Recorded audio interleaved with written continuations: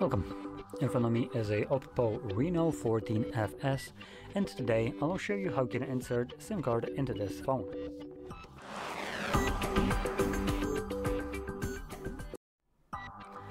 So, to get started, you'll need to grab a SIM ejector similar to this one, which will come provided with the device in the box, but if you can't find it, you could also use a paper clip, extend out one of the ends, and it should work just as well.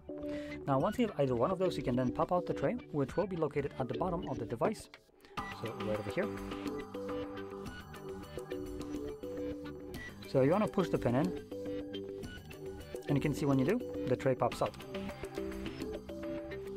Now on the tray we actually have space for an SD card on the bottom side or secondary SIM card. So let's just bring that up into view as well. So uh, let's start off with the top side, here we have just a SIM tray. So you place your card like so. There is a retention bracket that holds the card in place, so it shouldn't be falling out of the tray if you flip it over.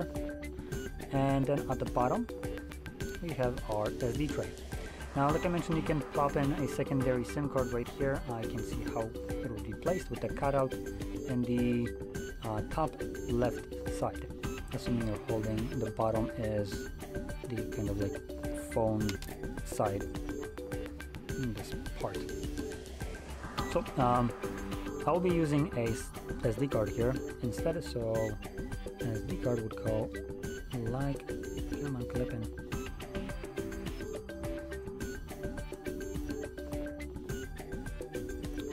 That's a bit more annoying to clip in, come on.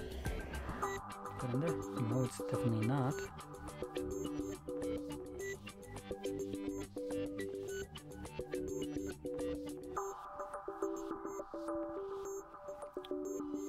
Struggling to clip it in there. Come on.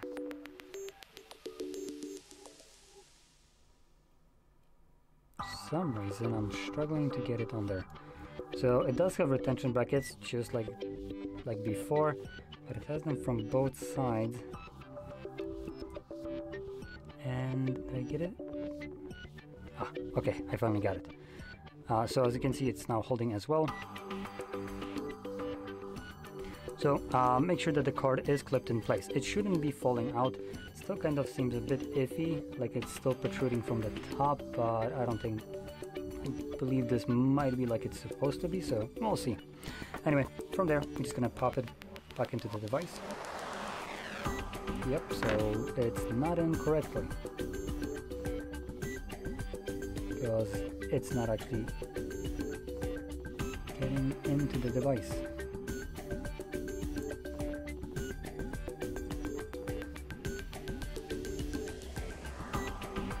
Genuinely feel like this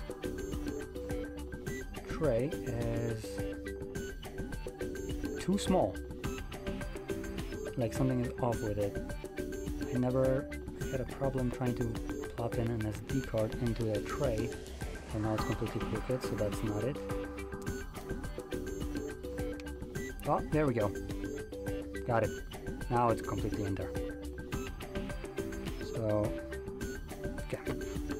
So it does take a bit of fiddling around to get it completely seated in there. Now once you do, you can see it goes in. So uh, let's give it a second. It should pop up with the SIM card pin and there we go.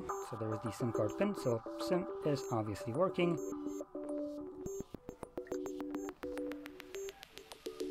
Now typically you get a notification about the SD card, but we didn't get one, so let's see in the settings.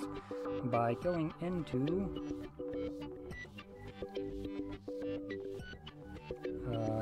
about the device, and there it is. So it is detecting it, just doesn't give us any kind of notification about it. So there we go. Now, hopefully you found this very helpful. If you did, don't forget to hit like, subscribe, and thanks for watching.